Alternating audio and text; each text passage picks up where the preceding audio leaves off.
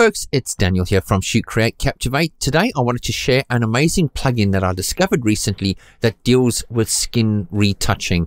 Now for you guys who are tuned into my tutorials, you've probably watched the frequency separation tutorial where I covered how I use frequency separation to clean up this young lad's skin. Okay, you can see that it's got quite a lot of acne, there's quite a lot of imperfections, and it did take us a bit of time to actually correct those imperfections in the skin and create a beautiful portrait of the young lad here.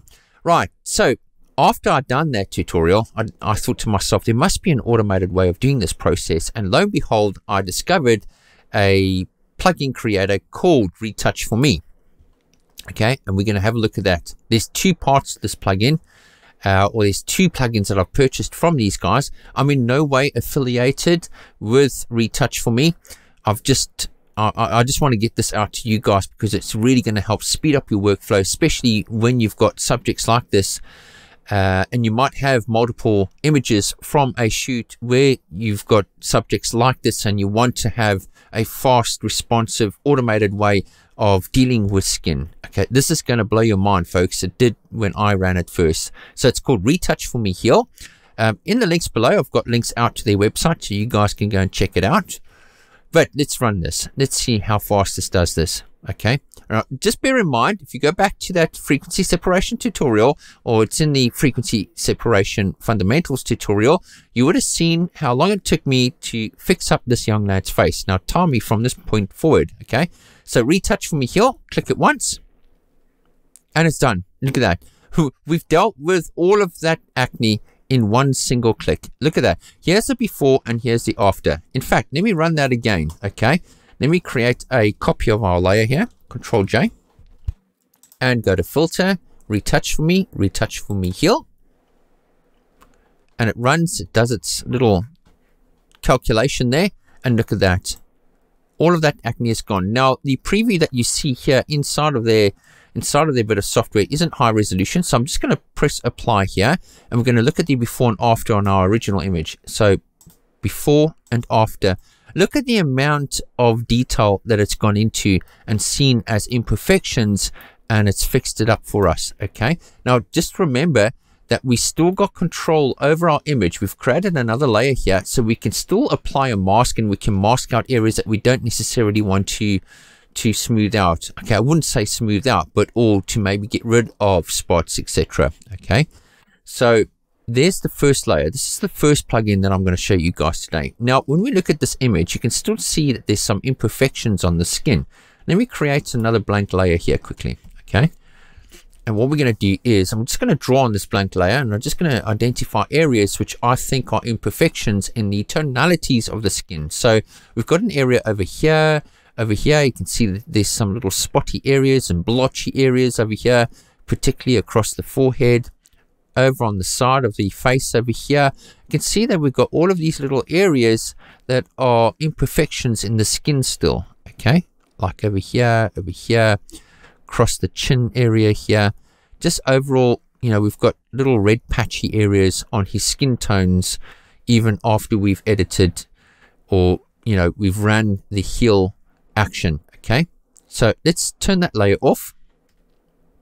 Okay, I've got the second layer active here. I'm going to go back to filter and this time I'm going to go Retouch4me, but I'm going to click on Retouch4me, dodge burn. Watch the magic happen here. Click it once.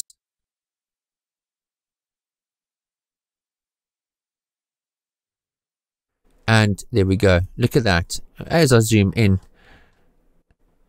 there's the original, there's the after. It's keeping everything pretty realistic, retaining skin textures, and yet giving us excellent results. Let me apply this to the high resolution image. Okay, actually, let's create another layer and even run it again. Filter, Retouch4me, dodge and burn,